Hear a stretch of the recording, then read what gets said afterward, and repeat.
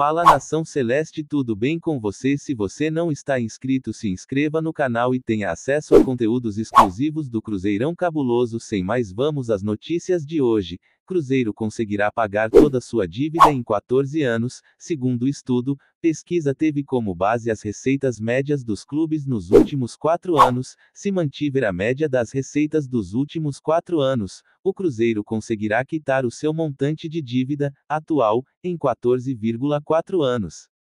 Atualmente, o saldo devedor supera os 1 bilhões de reais. A previsão para o pagamento foi realizada em pesquisa da Sport Trek, divulgada nesta terça-feira, em um relatório da consultoria Convocados, em parceria com a XP. O Cruzeiro é o terceiro na projeção com mais tempo para pagar, ficando atrás do Vasco 15,5 anos e o rival Atlético Minas Gerais, com 21,4 anos, o estudo teve como base os 20% das receitas médias que os clubes tiveram nos últimos quatro anos.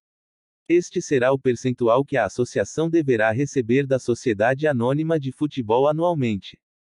Em comparação com as receitas, o valor da dívida cruzeirense é 4,7 vezes maior. No detalhamento específico sobre o Cruzeiro, a pesquisa apontou que o clube conseguiu prolongar os seus passivos, o que oxigena a atividade de curto prazo. Além disso, destacou o crescimento das receitas, por outro lado, apontou que os desempenhos esportivo e operacional não foram positivos.